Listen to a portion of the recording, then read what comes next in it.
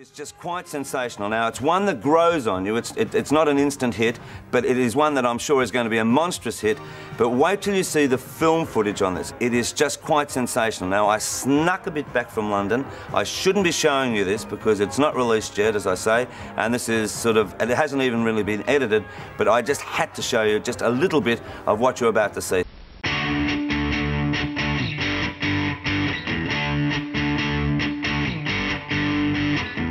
I got nothing on my mind, just a lot of grey noise.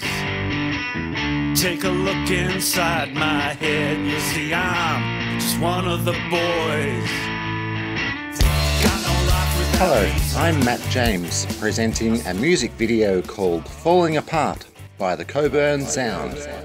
I aim to promote the band, showcase myself, and entertain a local and potentially global audience using only archive footage from public domain. So, what are the challenges of such a project? If I move this chair, should there be some kind of diegetic sound? Not necessarily, but listen to this. Compare that with how this sounds. You get the picture. It's called dynamic systematics and the codes of spectator relations. Let's see one, no, two examples.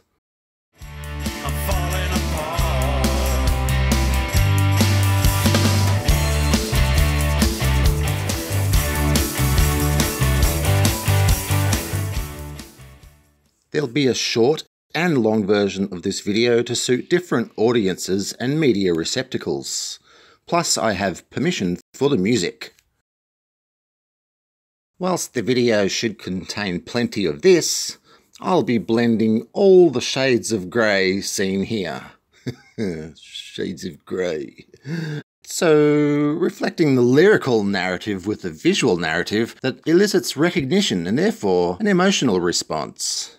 I'll ask you, Nash, what do you think? Please, I just got home. Don't rush me!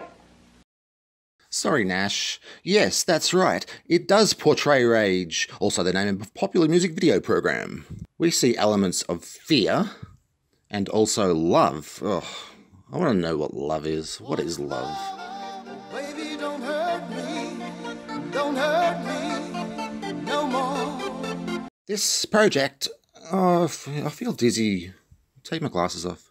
This project comes with the process of researching, planning, creation, communication and refinement. Research is an important tool. For me, I'm either researching 1. Video content 2. Academic texts or 3. Instructional videos. And then a shitload of planning. A shitload. As a member of my planning committee drawing up some audiovisual timelines and Gantt charts. Then I start creating rough drafts, seeking online feedback and communicating with the band members. I've done two draft edits and will do another one or two before completing the project by early February. The band wanted a simplistic lo-fi product, unlike other archive footage style videos by rich show-offs like Metallica and Nine Inch Nails. It'll be circulated onto various forms of media, including YouTube and Vimeo, uh, websites, social media, and television.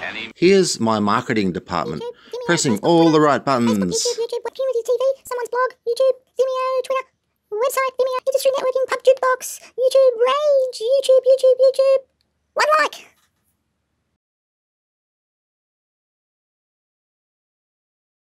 Facebook, YouTube, YouTube, website, community, um, community TV, someone's blog, YouTube, Vimeo, Twitter, website, Vimeo, um, industry. Uh, thanks for joining me. I hope you'll enjoy the finished project.